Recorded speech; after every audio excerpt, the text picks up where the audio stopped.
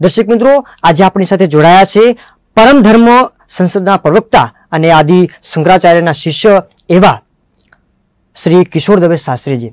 શાસ્ત્રીજી આપનું આજના વિશેષ પ્રોગ્રામમાં સ્વાગત છે આપનું કે આજે આપે આપ મારા દર્શક મિત્રોને ગુરુ પૂર્ણિમા વિશે વિશેષ સમજ આપવા આવ્યો છું કારણ કે અત્યારના લોકો ગુરુના મહિમાને ભૂલતા ભૂલવા લાગ્યા છે અને એ થઈ પણ રહ્યું છે કે કળ- કળિયુગ આવ્યો છે. ત્યારે આપ અહીંયા આવ્યા છો તો દર્શક મિત્રોને પણ ઘણી એવી માહિતી મળશે. દર્શક મિત્રો પણ ગુરુના મહિમાથી જાણકાર થશે.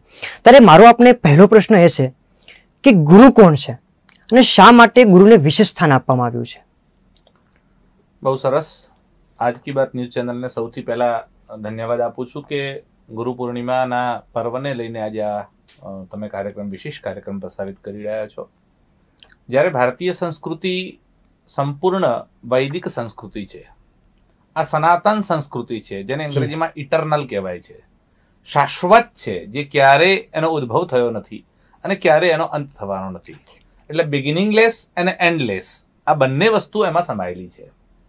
ભારતીય સંસ્કૃતિમાં ગુરુનું મહત્વ એટલે પરમાત્માથી પણ પહેલા જ એનું પૂજન કરવામાં આવે એ ગુરુ છે. એટલે પરમાત્માનું પૂજન તો આપણે ત્યાં વિશેષ છે જ પણ પરમાત્માથી પણ પહેલા એટલે તમારે ઈશ્વરના પૂજન માટે બેસવું ભલે સત્યનારાયણની કથા કરો કે યજ્ઞમાં બેસો. તો ભગવાનનું પૂજન કરો તો પણ પહેલા ગુરુ આજ્ઞા લેવાની, એટલે પહેલા ગુરુ પૂજન થાય, પછી ઈશ્વરનું પૂજન થાય.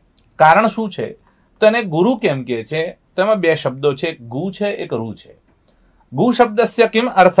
ગુ શબ્દનો અર્થ શું છે? તો કે છે અંધકાર. અને રૂ શબ્દનો અર્થ છે પ્રકાશ.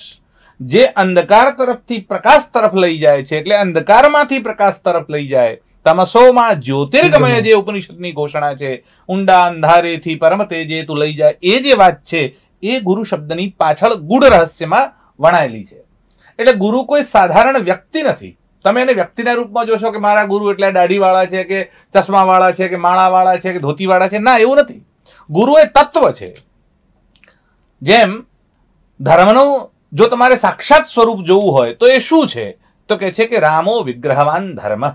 તમારે ધર્મને સમજવો હોય તો રામજીનું ચરિત્ર જોઈ લો. પછી કોઈ શાસ્ત્રમાં ધર્મ ભણવાની આવશ્યકતા નહીં. પ્રેમને સમજવો હોય તો શ્રી કૃષ્ણને જોઈ લો. પછી કોઈ શાસ્ત્ર ભણવાની જરૂર નહીં. ભક્તિને જોવી હોય તો ગૌરાંગ ચૈતન્ય મહાપ્રભુને જોઈ લો. પછી ભક્તિનું શાસ્ત્ર ભણવાની જરૂર નહીં. તમારે લોભને જોવો હોય તો ધૃતરાષ્ટ્રને જોઈ લો. પછી બાકીના લોભ માટેની શું વ્યાખ્યા હોય જોવાની જરૂર નહીં. તમારે બ્રહ્મચર્યને જોવું હોય તો પિતામાં ભીષ્મને જોઈ લો. નૈષ્ઠિક બ્રહ્મચર્ય કેવું હોય બીજાને કહેવાની જરૂર નહીં. જ્ઞાન જોવું હોય તો આચાર્ય શંકર જે શંકરાચાર્ય છે એને જોઈ લો. એ સાક્ષાત જ્ઞાનાવતાર છે એટલે બીજા કોઈને જોવાની જરૂર નહીં. એવી રીતે જો તમારે ગુરુનું તત્વ જોવું હોય તો જે તમારા પથ પ્રદર્શક છે એટલે ભગવાન વેદવ્યાસ જે છે એ સાક્ષાત ગુરુઓના પણ ગુરુ છે અને એનાથી પણ વિશેષ ગુરુનામ ગુરુ કોપી. જો ગુરુઓના ગુરુ કોઈ હોય તો એનું નામ આચાર્ય એટલે ભગવાન શંકર છે.